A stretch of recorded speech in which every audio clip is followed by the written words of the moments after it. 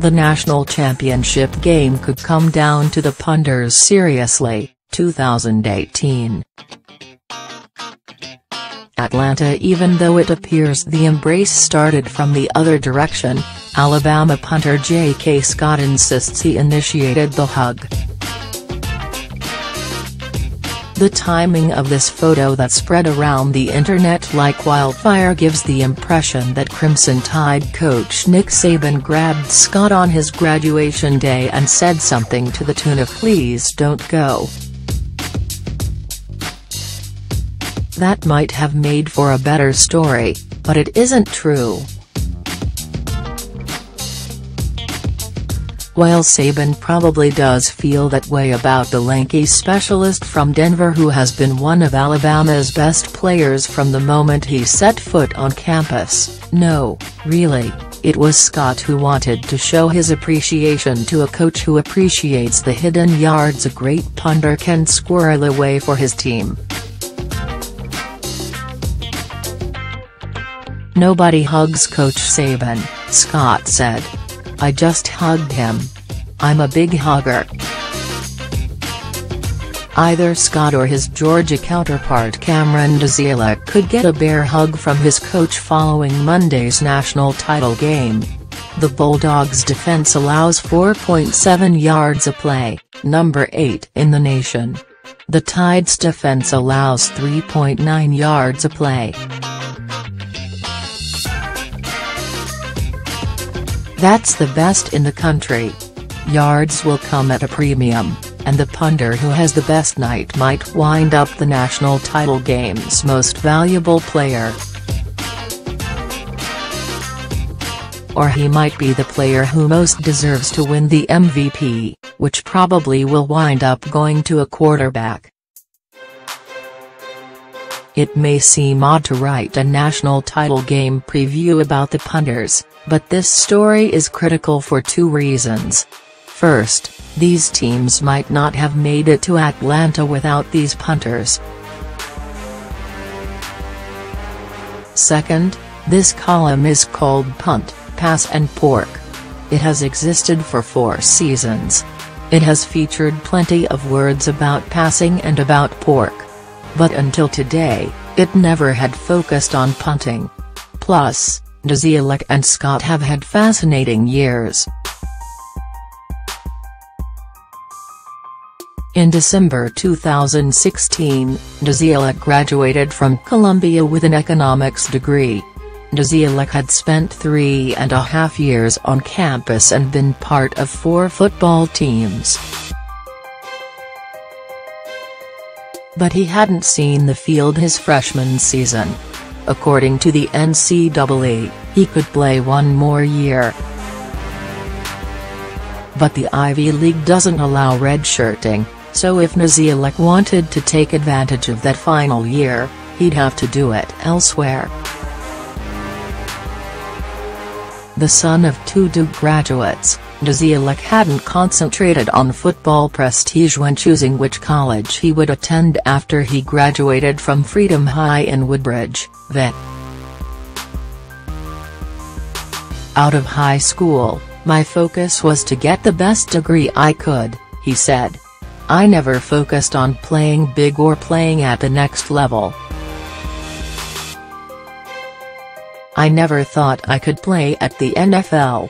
As I developed my career, I thought that might be a possibility. Nizialek averaged 42.9 yards a kick and boomed 10 punts of 50 or more yards as a Columbia sophomore in 2015. He averaged 44.8 yards a kick and booted 950 or more yards in 16. Suddenly, the next level seemed possible. So Nizialek began looking for another school. He considered Georgia, Clemson, South Carolina and Virginia Tech, but of those schools, the Bulldogs probably needed him the most.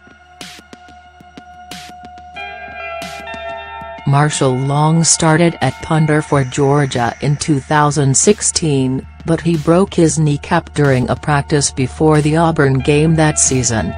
that forced backup quarterback Brice Ramsey into the job.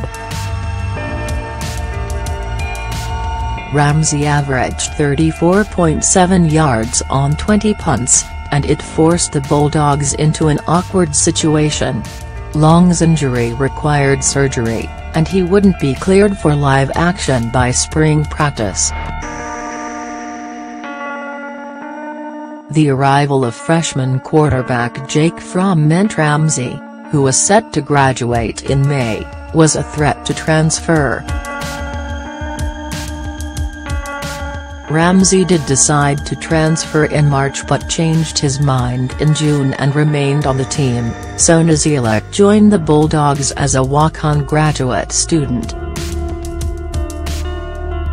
He won the starting job and averaged 44.9 yards a kick this season. He also earned a master's degree in sport management. Georgia special teams coordinator Shane Beamer teases Nizialek when the Bulldogs play in a packed stadium. Hey bud, Beamer will say, this is a long way from Columbia versus Yale.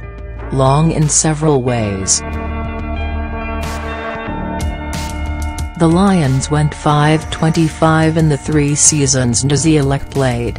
Georgia had matched the twin total by September 30. Still, the change in stakes hasn't bothered Nizialek.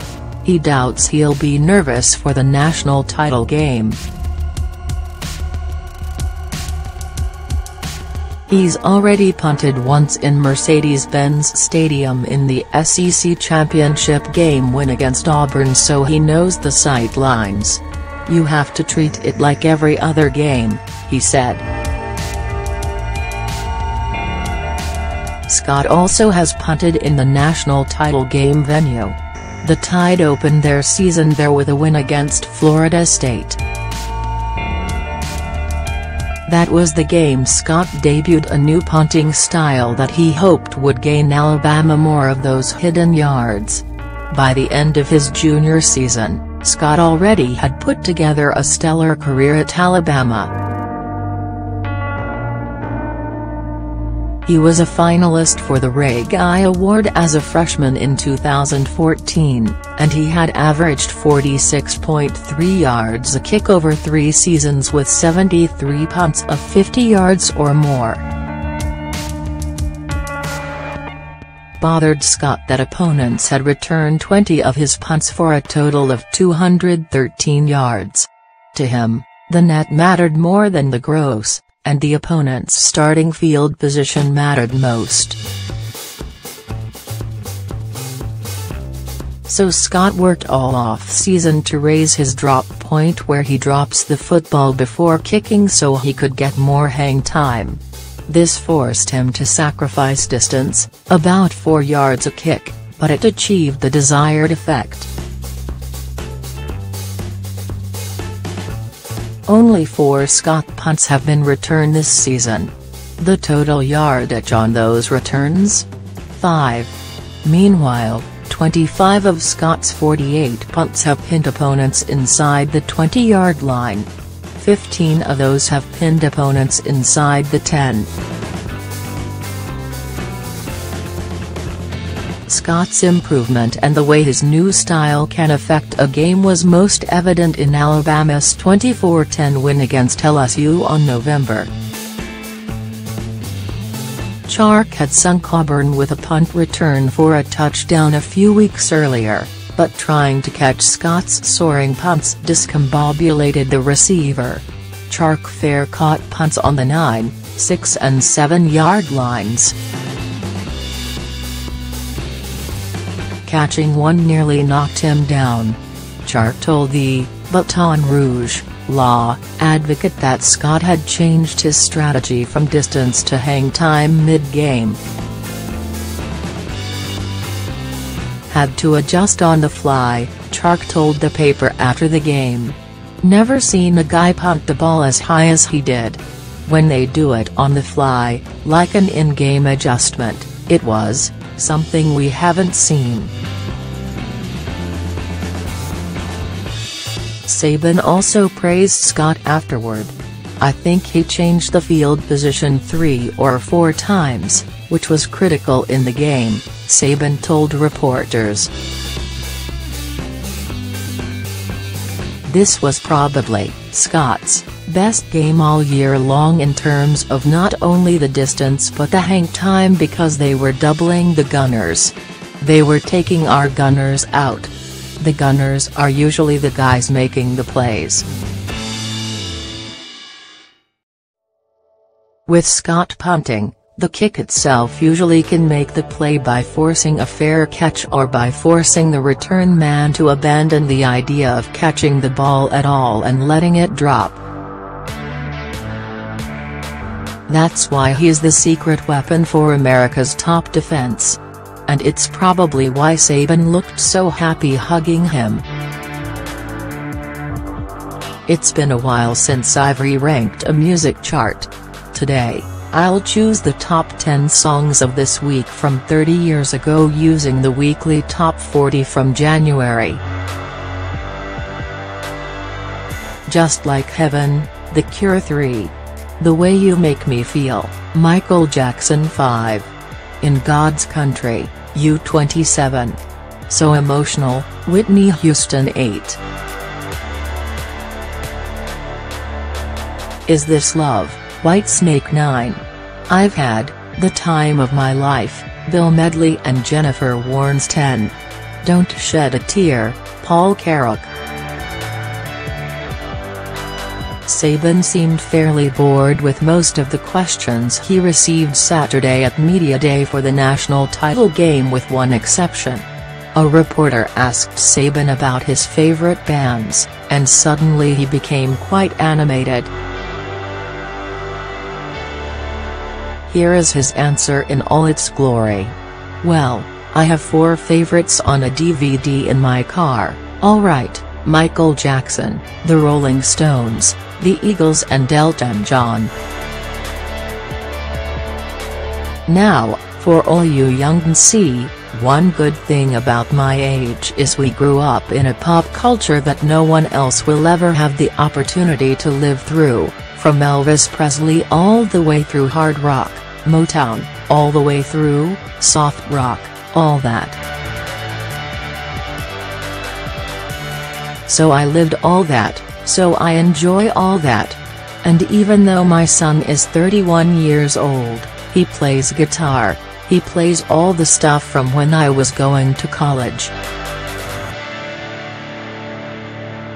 So that's just proof in the pudding to me that they don't make them like they used to. So I have boat jam, when I go on my boat in the summertime, and we have music is important, I mean, to me. I love listening to music. Do I listen to music when I work? Not really. But it does create a little bit of a different kind of mindset sometimes, a little bit of a pick-me-up, which I appreciate. If, like me, you've seen the Saban electric slide video, you probably also consider it definitive proof that his favorite Michael Jackson song is Rock With You. UCF will hold a parade Monday at Walt Disney World to celebrate the national title it is claiming after going 13-0. The coaches playing in the actual national title game aren't concerned. I'm fine with it. Doesn't mean anything to anybody but them, Saban said. They should be proud of the season they had. I know how hard it is. We've only had one undefeated season, I think, in all the time I've been around. It's a difficult accomplishment. I think when players accomplish that, they should feel good about what they've accomplished. Said Kirby Smart, to be honest with you, I don't think about it. I'm thinking about Alabama. If I was at UCF, I'd probably do the same thing. When your team wins the Rose Bowl in double overtime and earns the chance to play for its first national title since 1980, you celebrate. Here is round 20 with my Georgia neighbor after Rose Bowl win. Pick. Twitter. com slash 4y by Lewis Mary Ramsayer, at Mary Ramsayer, January 2, 2018. Colleague and Fox Sports television reporter Bruce Feldman joined the podcast to preview the national championship game and to discuss the dessert item I'll be reviewing two sections south of here. After Monday, there won't be another college football game until August set your frowns accordingly. We walked into the stall in Atlanta's Ponce City Market expecting a gelato shop, because that's what the sign out front advertised. At first glance, the place looked like one. A long rectangular cooler with glass walls held buckets containing different flavors. Scoops stood ready nearby. The menu board advertised a price for cups containing one two or three scoops. But upon closer inspection, the substance in the buckets looked slightly different. It was refrigerated but not frozen. It seemed a little more textured than ice cream or gelato even though the flavors chocolate chip, salted caramel, peppermint, brownie all seemed to match. This is gelato? I asked to no one in particular. No, the man working the counter said. The gelato is behind you. I turned to see a nearly identical cooler that absolutely contained gelato. I turned back and looked at the first counter's menu board again. The wheels turned inside my brain until I arrived at the awful, beautiful truth. So this is all and cookie dough? We had found batter, Atlanta's home for cookie dough in a cup. After sharing this discovery on Twitter, readers informed me that similar concepts have popped up in Chicago and New York. Apparently, the lines can stretch for hours in New York. They are not long at batter, but they should be. The idea of selling raw cookie dough in large quantities simultaneously makes sense and feels completely wrong. Everyone wants to lick the spoon between the mixing of the batter and the placing of the cookies in the oven. So why not give the people their favorite part of the cookie baking process in a giant mound in a cup? Still, a bite of raw cookie dough contains so much concentrated pleasure that an entire cup of it seems dangerous. Think of it this way, everyone loves an orgasm, but 10 orgasms in 5 minutes might kill a person. A scoop of cookie dough feels like the culinary equivalent of that feat. To answer the obvious question, there is no raw egg in batter's batter. It also uses heat-treated flour, so there is no need to worry about contamination. Despite the lack of eggs, the dough feels and tastes exactly like what you'd make at home. I ordered a cup of peppermint cookie dough with M&Ms on top. My companions split between salted caramel and chocolate chip. Everyone moaned at first bite. The dough is always better than the cookie itself, and now we had entire cups of dough. We vacillated between this is amazing and this is a thing that should not exist. But we all ultimately return to the former. A cup of cookie dough, it turns out, is exactly as amazing as you'd imagine. The menu offers the choice of one, two or three scoops.